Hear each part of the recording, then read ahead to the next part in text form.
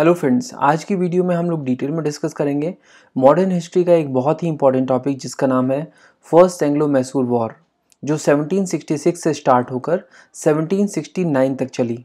सबसे पहले हम समझेंगे कि फ़र्स्ट एंग्लो मैसूर वॉर क्यों हुआ। देखो, आपने देखा था कि 1764 के बैटल ऑफ़ बक्सर के बाद बंगाल पर ब्रिटिश ईस्ट इंडिया कंपनी का कंट्रोल हो चुका था। इसके अलावा मद्रास में भी ब्रिटिश ईस्ट इंडिया कंपनी के सेटलमेंट्स थे, जो कि कार्नेटिक रीजन का पार्ट था। कार्नेटिक का नवाब मुल्ला जहा जो है, वो ब्रिटिश ईस्ट इंडिया कंपनी का वफादार था। उसे तो ब्रिटिश ईस्ट इंडिया कंपनी ने ही कार्नेटिक का नवाब बनवाया था। तो कह सकते हैं कि ब्रिटिश ईस्ट इंडिया कंपनी के मद्रास में फोर्ट्स और सेटलमेंट्स सुरक्षित थे।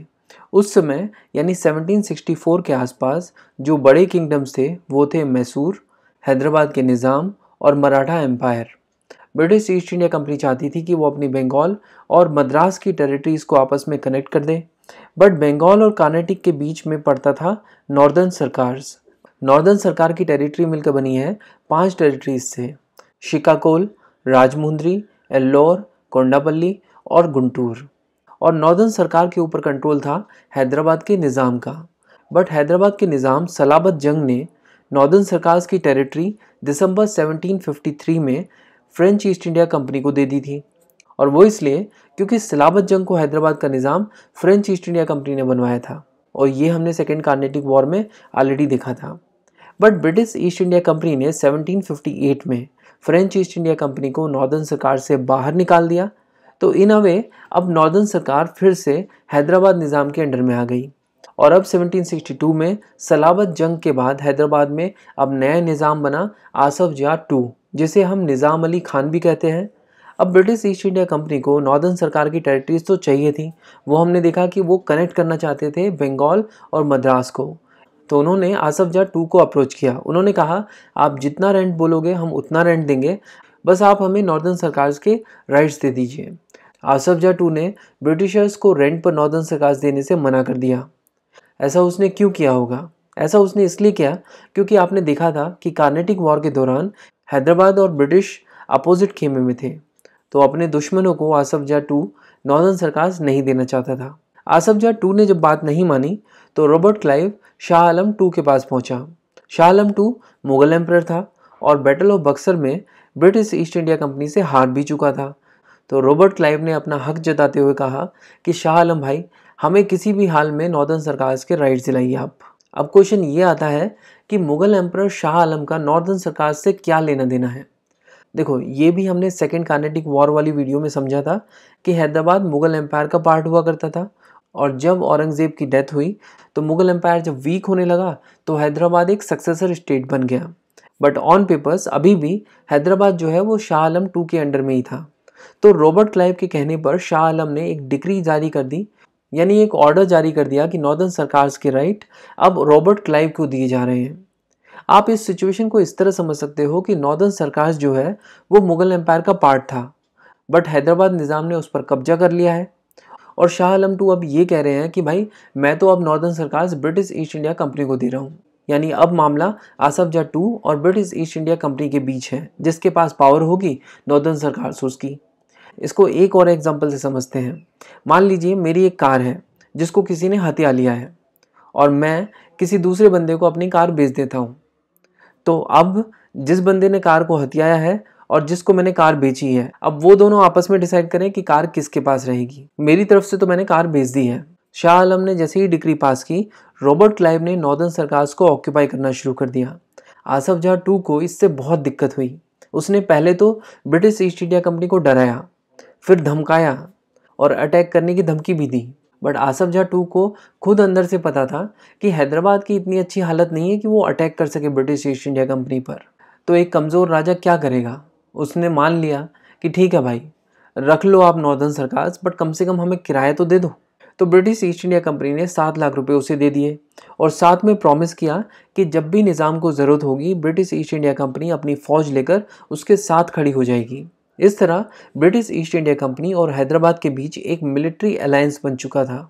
और हाँ मराठाओं के खिलाफ निज़ाम ने पहले से ही मैसूर के खिलाफ हाथ मिला रखा था। तो इस तरह मराठा, हैदराबाद और ब्रिटिश ईस्ट इंडिया कंपनी एक साथ आ गए। एक्चुअली बात ये थी कि मैसूर की बढ़ती हुई प्रॉस्पेरिटी किसी से देखी नहीं जा रही थी। हमने पिछली वीडियो में देखा था कि मैसूर एक इनहेरेंटली रिच स्टेट था। उसके पास fertile lands, ports, handicrafts Kolar की गोल्ड माइंस और चंदन की लकड़ी थी। तो ये भी एक कारण बना कि मराठा, हैदराबाद और ब्रिटिश ईस्ट इंडिया कंपनी ने मिलकर मैसूर पर अटैक करने की सोची। बट कोऑर्डिनेशन में थोड़ी चूक हो गई और 1766 में मराठा ने मैसूर पर अटैक कर दिया, जबकि निज़ाम और ब्रिटिश ईस्ट इंडिया कंपनी अभी अटैक के लिए प्रिपेयर ही कर रहे थे। तो मराठास जो है, वो हैदर अली पर अटैक करने के लिए आ चुके थे। लेकिन हैदर अली ने उनसे बात की। हैदर अली ने मराठाओं को कहा कि आप हमारे पास आते हो, हमारे ऊपर अटैक करते हो, हमें हराते हो, फिर हमारे पैसे लेते हो, हमारी टेरिटरी लेते हो, दोनों को लूट के ले जाते हो। अगर पैसे और टेरिटरी ही चाहिए तो ऐसे ही ले जाओ ना। लड़ने की ज़रूरत ही क्या है? हैदर अली ने मराठाओं को ऑफ़र दिया कि आप तीस लाख रुपए रखो और मैसूर की कुछ नॉर्दर्न टेरिटरीज भी ले जाओ। लेकिन लड़ाई करने की कोई ज़रूरत नहीं है। तो मराठाओं के पेशवा पेशवा माधवराव ने हैदर अली का ऑफ़र एक्सेप्ट कर लिया और लौट गया। इस तरह हैदर अली ने मराठाओं को न्यूट्रलाइज कर दिया और अब हैदराबाद और ब्रिटिश ईस्ट इंडिया कंपनी बचे। उसमें भी हैदर अली ने आसफजा टू के साथ नेगोशिएशन शुरू कर दी। हैदर अली ने कहा कि यार, आपके साथ तो बहुत बुरा हुआ। ब्रिटिश ईस्ट इंडिया कंपनी ने आपकी नॉर्दर्न सरकार को हथिया लिया। बट कोई नहीं। जो हुआ, सो हुआ। अब एक काम करते हैं, दोनों भाई मिलकर अरकोट पर हमला कर देते हैं। अरकोट, यानी कार्नेटिक पर हमला कर देते हैं। और वहाँ से जो टेरिटरीज कैप्चर करेंगे, वो आपस में बांट लेंगे। तो निज़ाम मान गया। निज़ाम इस बात से खुश हो गया, क्योंकि कार्नेटिक का नवाब दोनों का कॉमन दुश्मन था। तो इस तरह नवाब भी गेम से आउट हो गया। अब ब्रिटिश ईस्ट इंडिया कंपनी के लिए दिक्कत खड़ी हो गई, क्योंकि ब्रिटिश ईस्ट इंडिया कंपनी तो निज़ाम और मराठाओं को सपोर्ट करने ही आई थी।